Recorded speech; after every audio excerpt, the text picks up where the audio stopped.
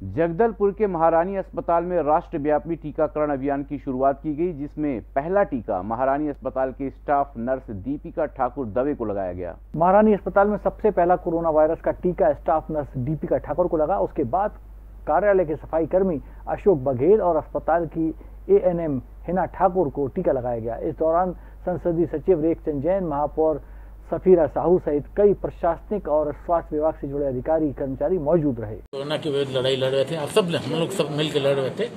इसमें हम लोगों ने काफ़ी सफलता पाई। अभी हमारे पॉजिटिविटी भी कम हो गए हैं एक्टिव केस भी कम हो गए हैं, और कोरोना भी लगभग खासकर बस्तर संभाग में तो ये देखा जाए कि बहुत कम है।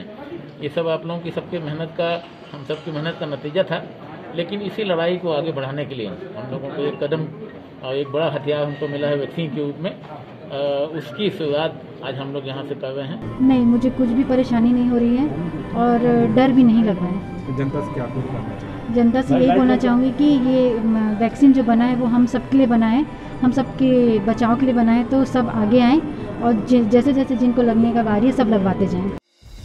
संगीत की स्वर लहरियों से सांस्कृतिक ताने बाने तक चंबल के पीड़ों से नक्सलवादियों के गढ़ तक।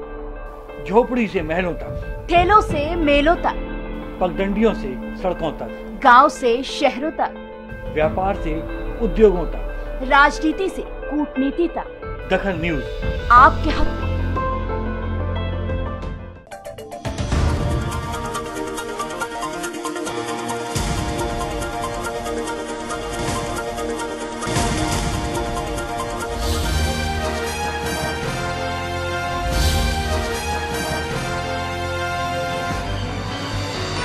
आप देख रहे हैं दखल न्यूज़।